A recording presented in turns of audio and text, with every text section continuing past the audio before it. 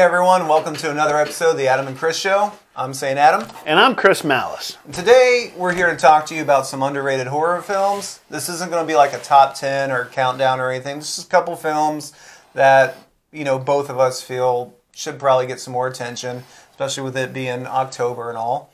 Um, I picked Ooh, two, spooky. and Chris did some other things before the show. no, I didn't. yeah, just keep claiming that. These films, we think they're good films. Just think people need to check them out a little more, and uh, we're gonna get right into it. Okay, so the first film on my list, not list, but the first film I want to name, Bad Moon. Bad Moon, if you're not familiar with it, it's a werewolf film. Came out in 1980, no, I'm sorry, 1996 by Warner Brother Films. Stars Michael Paré, who some people might know from the film Eddie and the Cruisers. Anyone that had watched it, it, it was kind of a, a hit. never- it spawned a hit radio single. Also has Mariel Hemingway in it. and We all know who she is. And Mason Gamble, who played Dennis the Menace back in, what, 93, 94? Um, so basically, the idea of this film is this guy, played by Michael Perry, gets bitten by a werewolf in Tibet and struggles with, you know, becoming a werewolf every night, not just on a full moon, just every night he just changes and has no control over his actions. He's tried every medical cure he can think of, nothing's working, so he thinks maybe maybe it might be more of an emotional state of mind, not like you know being werewolf Yeah. is a feeling or anything, but you know maybe if he can get his mind right, maybe he can control this, and if he can't, maybe he can make peace with it. And I, it almost seems like he's thinking about suicide at one part in the film. So he packs up his trailer and he goes and he crashes with his sister. Um, you know, she's a single mother who has a son. I think he's probably about uh, he looks like he's about ten or eleven in this film. Anyway, they have a dog, a German Shepherd named Thor. Because see, this film is actually based on a book written by Michael, or I'm sorry, Wayne Smith, called Thor. And in the book, it's told through the eyes of the dog. And I've been trying to track down a copy of this book. It's hard to find, at least in any price range I can afford. Really? Yeah, like try looking up at, on Amazon. I'm not finding anything below like 70 bucks the last time I checked. That's still wow. Yeah. Um, and the, the film's kind of told through the dog's eyes. You see the dog, you know, you follow him around. I guess he's, he is the protagonist. He's very protective of his pack, as they call it in the book. And he can sense there's something wrong with the uncle. This character that I guess he's known before, but now just knows something's wrong, doesn't recognize him, doesn't like the way he smells and stuff. So every night the uncle transforms into a werewolf. Now he tries to go out into the woods and cuff himself to a tree, you know, just spend the night chained to this tree as this savage werewolf. The dog gets out and he actually sees him and barks at him. There's a couple times where Mariel Hemingway actually starts making her way out to the woods before the dog gets her back to the house it actually builds up into a climax where, um, through a series of events, the dog is put in um, animal control shelter, and the kid breaks him out. Um, Mariel Hemingway's character actually finds that something's not right with her brother. He's been lying to her, and she tracks him down in the woods, and he just changes in front of her. He gives in to the beast and tries to kill her. This the, the actual werewolf part is played by Freddy versus Jason. Jason. Oh, Ken really? Kirzinger, yeah, Wow. which explains the size of this thing. It's got one of the best werewolf looks I've ever seen in a film. Practical effects, you know, the only CGI in this film is actually the transformation scene, which is the only scene that doesn't work in this film. They they have his body shifting around, like you see, like this like red spot like heat up in his chest. And then it's just it's so weird. You know, there's like several stages before he actually changes. But if you can get through that scene, this is pretty fun to watch. Um, they actually had three dogs to play Thor in it. Really? Yeah. Um, and the the part where the werewolf and the dog fight, Yeah. The other two dogs that were bigger, they were afraid of the werewolf costume. Yeah. Like they just kind of wouldn't do what they were supposed to. So yeah. they brought in a smaller female Ooh. that was a police attack dog. So they brought And in a bitch. Yeah, they had her on the leash. I was watching this behind the scenes footage, and when they said action and let her go, she ran up and jumped on him so hard. That scene where the werewolf falls back on that shelf, mm. that wasn't supposed to happen. She just hit him with that force. Wow. Yeah, so it's pretty cool. It's got a great look to it. It is suspenseful, and again, it's unique because it's told through the eyes of this dog. So that is one of my picks for underrated horror film that I think you should check out. Bad Moon. My pick is a weird, bizarre, really far off movie directed by Kevin Smith called Tusk. It stars uh, Justin Long and Michael Parks. Michael Parks. I don't know. It says perks on your nose because that's not a but it's directed by legendary comedy director Kevin Smith, who right before this directed a movie called Red State. I haven't seen it. Red State was good. I have seen it. He's seen it. Um, I'm surprised he hasn't. this is kind of like Kevin Smith's, uh, you know, foray into starting to make uh, more horror films. Well, Red State was. I wouldn't this. call this a horror. It's film. weird. It's Look, weird. it will It's make you uncomfortable. weird. It'll make you absolutely uncomfortable. Both our wives hated it. Yeah. like, my wife's like, I, I never want to watch this again. It just weirded her out too much. That, that is one of the first rules of horror movies is it's got to make someone uncomfortable. Um, so the story is about a uh, podcaster or uh, named played by Justin Long, who's kind of a douchebag. like a certain YouTuber. Nah, I'm, I'm not a douchebag. I'm cool. but uh, he uh, decides to go into Canada because he heard rumor about a, a story about a uh, kid that was uh, playing with some sort of lightsaber while dancing or some weapon and accidentally cut his legs off, and he was going to do a a whole video on him. Um, I think it's Haley Joel Osment who played the kid. Ooh. No, Haley Joel Osment plays his uh, co-host. Oh, his co-host. I, I kind of forget who he is sometimes when he's in something, unless it's the boys and getting brutally killed by Butcher. But I digress. You do. But uh, um, he goes to Canada uh, to meet this kid. and turns out he killed himself because people made fun of him online. Go figure. Oh, that never happens. But I'm uh, just saying with with yeah, yeah, yeah. yeah. Uh, So he looks up this ad to basically have someone come visit him, and it's this rich old guy who, when he goes and visits him, he discovers that this guy wants to turn him into a walrus. Well, not right away though. He he he. Remember, he's like, "Oh, you have the best stories," and then he he's drinking. He passes yeah, he out. drugs him. He wakes up with his one of his legs cut off. Yeah, yeah, yeah. It's like, what happened? Oh, you got bit by a spider. What? Michael Parks takes the hamminess to 11. He chews the scenery and it works for it. He's fucking batty, he's wacky. His whole reasoning from wanting to turn this guy into a walrus is because when he was in the Navy, he, uh, he, uh, a boat he was on crashed in some sort of iceberg and some walrus was taking care of him and whatnot. And he, I guess, Nursing up- him back to health. nursing him back to health. Well, uh, he ends up killing. Say that out loud. he, he kills the walrus, and he feels bad for it constantly, and he wants a walrus to have a chance to fight him, I guess, and, and Find win. him as a walrus. As a walrus. It's not him versus a walrus. It's him fighting a walrus while he, him he He's- himself is wearing a walrus Suit. suit. So he physically takes parts off his body and all that. He deforms Justin Long to become a walrus. Cuts have, his tongue out yeah. because he like can't even communicate. He just has like this, Something well, kind of like this whale he does. they have this little standoff, uh, and well, it kind of ends with him being a douchebag, but stuck being a walrus. Uh, it's a weird, weird fucking film.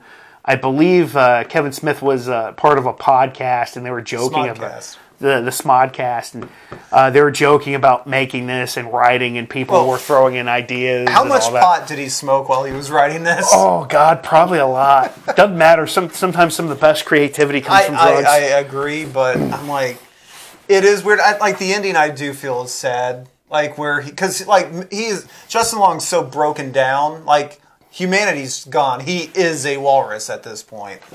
yeah. So like the ending is kind of depressing. Yeah, his uh, co-host Haley Joel Osment and uh, his girlfriend uh, visit him, and he's in like this like pseudo entrap like like zoo like thing. It- it's weird. I'm like, A human it's set in walrus? Canada. I'm like, they have better health care than we do. Why didn't they get him some help? Probably because he's an American from Can- coming to Canada. I don't know. I don't know the statistics of that stuff there, but I just know he's now a walrus, and it's uh, it's pretty fucking weird. What is the quote from that line? There's a quote. Oh, I'm sorry, quote from that movie. There, there's a quote from the movie where uh, Michael Parks is hamming it up to eleven, and he says he's like he, he says to him as they about to they about to duke it out as walruses. Uh, it's time to answer the age old question: Is man really a walrus? Now, I haven't read a lot of history books, but I've never ever come across anyone, even famous, pseudo famous, anywhere that has pondered that idea. Never have. It's actually in the Bible, Chris. Okay. Somewhere in the back, I'm sure. Oh, it's got to be all way in the back. So that's that's my first pick. Okay, so the next one I picked was more of a found footage type film. It's called Megan is Missing. Some of you might know it. I know a lot of people when I talk about this film haven't heard of it. It was released by Anchor Bay Films back in 2011. And I remember watching, I found this on Netflix, and it's one of these found footage films about this popular uh, teenage girl that just goes missing. She starts, she's talking to this boy online, and it's like kind of shown in real time through like video chats or, um, you know, like phone footage stuff or even news reports. And she's talking to this boy. She goes to meet him online. She's and then she comes up missing. So the rest of the film focuses on her best friend, um, Amy, trying to find out what happened to her. I know, yeah, the cops are too, but the cops are kind of like, oh, she met a guy and ran off. Like they're kind of writing it off as like, you know, teenagers do the darndest things. And she's like, no, this this isn't how Megan Yeah, operated. yeah. And she starts looking into it. and She can't find a record of this boy that Megan went to go meet or anything. And it, it I, I think that like it struck a chord with me because you know you see like all these posts about kids going missing, and then you you hear all these horrible stories and like it could easily happen. I know like before this like a movie that touched upon it when we were in high school, Strangeland. Yeah. I mean, but this was taken this was taken to a more realistic level than that was. Although that is a good film, and I recommend it. It'd be number three if I had a third one on here. Um, but yeah, Rachel Quinn plays Megan, and she does it very well for like the, the few scenes you actually get to see of her. The rest of the movie is carried by Amber Perkins, who plays Amy, and it's really it's depressing at times. You know, especially the ending. The ending, I'm just like, yeah, this could happen right here. Um, I know, like through one of the scenes, and this is messed up. So like nobody can find Megan. They assume, oh, she's just you know with some boy. She'll be back. This picture of Megan turns up on a porno site. Ooh. Um, in like some really brutal bondage gear, like strapped to a table and shit, like almost like borderline torture porn. Borderline uh, eight millimeter. Like something like or from that something movie. or something like you know out of hostel or something like that. Eight millimeter, good. and, and they're like you know, and she's like, "This is Megan. This is totally Megan." And Megan would not pose for photos like this, and she's almost kind of like, yeah, that got the cops riled up, but she's almost fallen on deaf ears about this. Mm-hmm. And so she's like trying to trace the tracks and everything and going out by herself. And so it is kind of powerful, especially like if you know people who are really sensitive to things that could happen. Like the the girl I was dating at the time, I was like, you probably do not want to watch this because like she got things got to her so easily. I'm like, I don't think you can make it through this. It is like if you look at it as like almost a documentary, almost. I'm like, this can be kind of intense. So yeah, Megan is missing is another one I recommend you check out. My movie, I'm gonna, my last movie to recommend that you check out is a movie called Martyrs. It is extremely fucked up. It's extremely uncomfortable, but I love it. Uh, Obviously, the only notes he wrote about it said Martyrs, extremely fucked up film. so, what the movie is about is it starts off with a young girl who's in captivity. She finds a way to break out and she runs off, and looks like she's been in captivity for a while. Well, after she escapes, she goes to she's goes to like an orphanage to eventually be adopted or a foster care center. She befriends another young woman, and you see in the title credits that they become close friends. There is before I continue on, an American version of this movie that everyone should steer the fuck away from. It's terrible. It's boring. It's banal. It's fucking terrible. but back to the good stuff. And apparently repetitive because that's two terribles. Oh, it's horrible. okay, two terribles and a horrible. But uh, so these two girls develop this bond. So the next scene we see is this normal, um, I believe it's a French film, um, family sitting and eating breakfast. And there's a knock at the door, and it's one of those girls, and she guns the whole fucking family down, puts them all down in the ground. Now she has some sort of trauma that she's dealing with. So she, from being kidnapped, it's the young girl. She calls her best friend, and then she shows up. And for a good portion of the movie, you start thinking that this shit's all in this woman's head. That she's got PTSD, she's seeing these things. They they come across this woman that's been mutilated and all that type of stuff. Um, I'm not going to give away too many crazy, crazy details, but uh, the ending is um, very interesting. After I got done watching this horror movie, I was with a friend of mine, and you typically you watch one of these really uncomfortable films, you just sit there and talk about how fucked up it is. Uh, at one point, what happens is that family was connected to a group that kidnaps people and tortures them to try to find out if there's life after death and all that type of stuff. That organization comes in and starts to fuck with the other girl. Um, I highly recommend it. I'm not going to do a whole say a whole lot more on it. Everyone should check it out. So there you go. Some underrated horror movies for the month of October that we feel are worth checking out. Real quick, what's an overrated horror movie that you feel people should steer clear of? American Werewolf in Paris. I said overrated. That's so underwhelming you can't count it. Oh, yeah, Like, I'll yeah, it's- it's just not good. The Resident Evil films. Whoo, whoa, all of them are stinkers. Yep. Yeah, there's nothing redeeming. about those. I'm Those sure, are turds. I'm sure that'll be another video at another time. But Ah. there you have it. So, from the Adam and Chris show, do you have anything you want to recommend to them out there uh, aside from the American version of Martyrs? Yeah, don't t- uh, see the Vanishing. Both American and the uh, foreign version are both pretty good. All right. Well, if you like this video, be sure to like and subscribe. Ring the little bell to let you know when we put out more. Okay, you act like you're going to say something. No, I won't. Okay.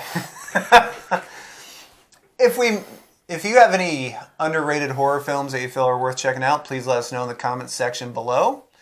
Please follow us on all our social media sites, and we will see you later. Have a good one.